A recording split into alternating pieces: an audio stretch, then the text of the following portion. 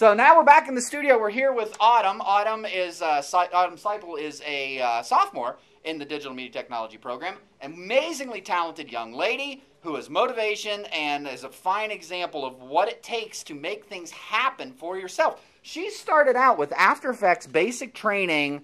What Autumn? About two weeks ago. Went, week or two, yeah. yeah, went through the ten basic steps of learning the found, foundation of After Effects CS6. People, this is broadcast level special effects stuff that we're doing. They use this for television and to make movies. When you see what we're doing in DMT later this year, it's going to blow you away. And Autumn's part of that.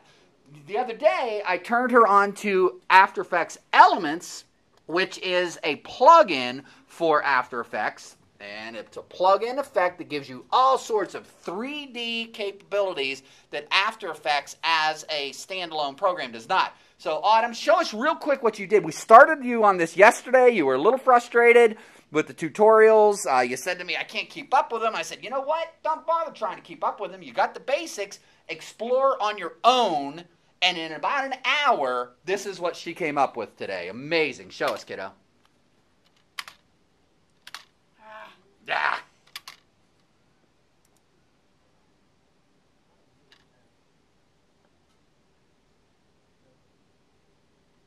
Wow. Look at that. Fully animated. The particles are expanding and growing in count, They contrast too. and they contrast, and the elemental or the environmental lighting effects. Look at that. Unbelievable. And now, what we're thinking here is each of these objects, these are right now a series of polygons and, and uh, uh, cubes, and it looks like cylinders. What we're thinking here, the concept is now that she's got the animation down and the lighting and everything, we can assign 3D models to those shapes, such as the tools of digital media. Um, animations, compu- or, uh, mixers, computers, uh, cameras, you know, you name it within the realm of digital media technology, CDs, discs, all the stuff that we do here, assign it to these shapes, and they're going to morph and move together to create a spinning logo. And Autumn, the next step to this is to come up with the text, right? What do you kind of what are you thinking in your head? Where do you want to go from Um, here? I want some sort of text that looks like it's typed on a computer. hmm color, maybe green or something. I don't know what color next, but I could use uh, elements to make it 3D probably. That's incredible. So, anybody watching this thing, if you're interested in coming to digital media technology, this is the level that uh, you're going to be working at. And I look at Autumn and I say, you know what? Geez, as an adult here, somebody within our community, this kid's how old are you?